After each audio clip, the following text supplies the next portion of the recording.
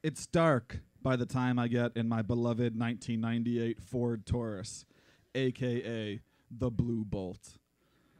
There's a fresh Red Bull in the cup holder. The Stephen King book on tape is all queued up and ready, and the driver's seat is perfectly molded to my body. The oils from my hands have created a spot the size of a grapefruit just above the dash. I pet the old girl when I feel like she's working too hard. The Blue Bolt is my partner, a loyal steed, a dirty, scrappy escape ticket.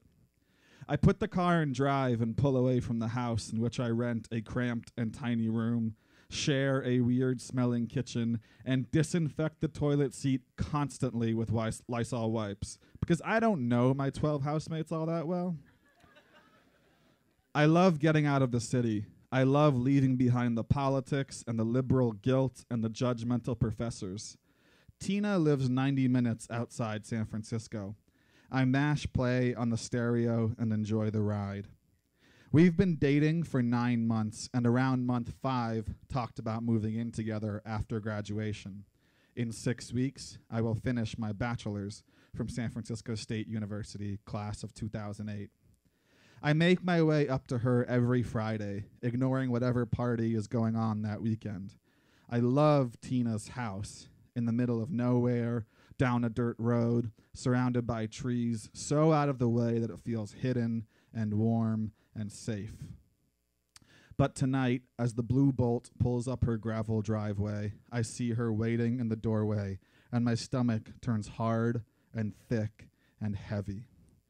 She gets in the passenger seat, tells me we're going to the movies.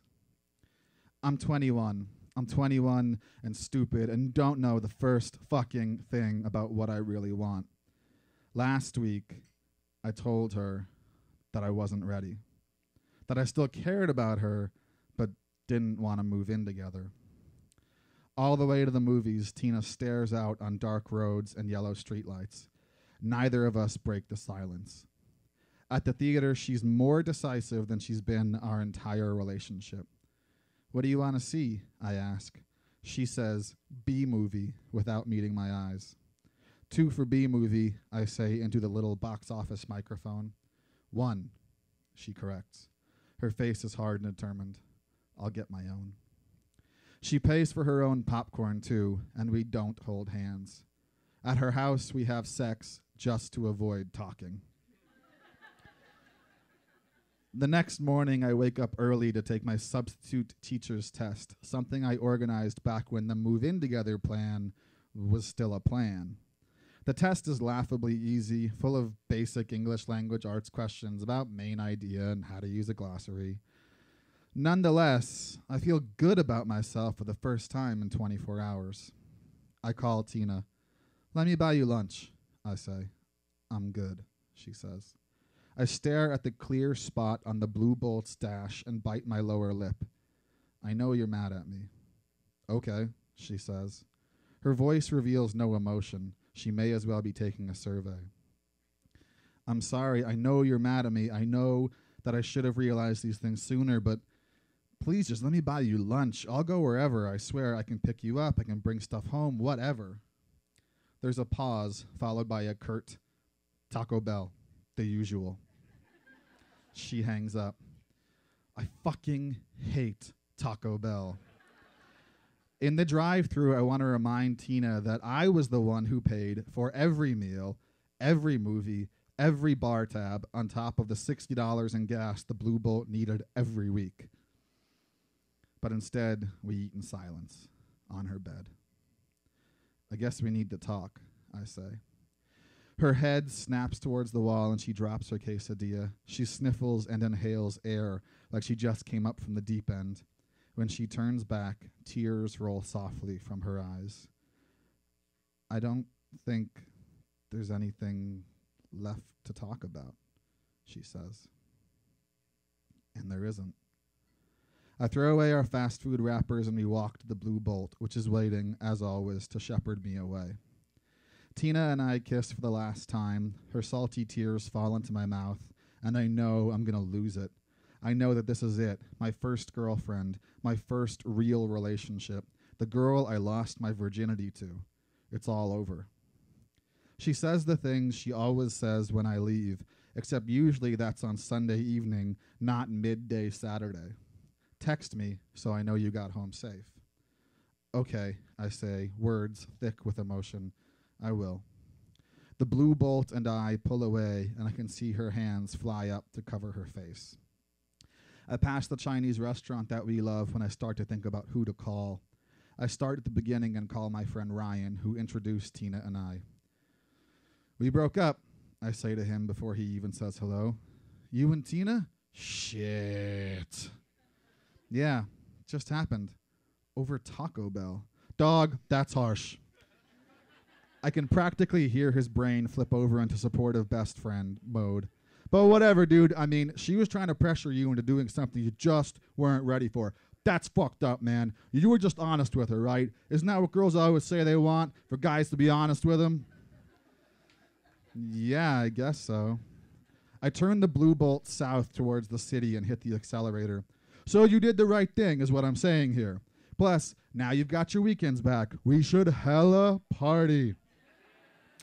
I laugh at this and am 90% sure that hella party means get drunk and watch Star Trek Deep Space Nine. Which is something I am all for at this point. Sounds good, dude. As I drive, I think about the summer, how Tina and I had gone to the county fair. I had never been to any fair before and was struck by how much I loved the unbridled kitsch and Americana of everything. I soaked it in the fried foods, the Ferris wheel, the prizes. I won Tina a small blue stuffed animal at a darts game and felt like king of the fucking world. At night, Tina and I made out like 15 year olds and drove home feeling safe and happy. I call Ryan again, tell him that we're going out tonight. We're going out and we're going to get drunk and do stupid shit and wake up hating ourselves because we're 21, goddammit, we live in San Francisco. Let's do this. By the time I hit the Golden Gate Bridge, I've suppressed enough emotion and I convince myself that I need to remember everything, not just the good times. Like how she would make me brush my teeth before I kissed her good morning because she hated my morning breath or how she had given up talking dirty and thought it was stupid that I liked it, or how she never understood that I write, and sometimes that requires spending hours just being by myself staring at a Word document. I was just to that point, that point in all fresh breakups where a guy embraces his most selfish tendencies. I thought about how tonight was going to be epic, damn it, because I was single again and feeling guilty as hell. I could start healing. Less than 20 minutes from home, I'm stopped in the middle lane. Saturday traffic near Golden Gate Park is the worst. I see him in my rear view, a white SUV barreling down on me like a wall. I can't change lanes fast enough. I grab the steering wheel as tight as I can, grit my teeth, and close my eyes. The SUV collides into the blue bolt. The hood and trunk fold like an uneven accordion, crushing me between him and the car in front of me. My skull smacks against the headrest, my knee jams into the hard plastic underneath the wheel. Fuck! I hear the SUV driver yell. Adrenaline coursing through me, I get out of the blue bolt and see the whole scene. My car, my wonderful, safe car, is completely totaled.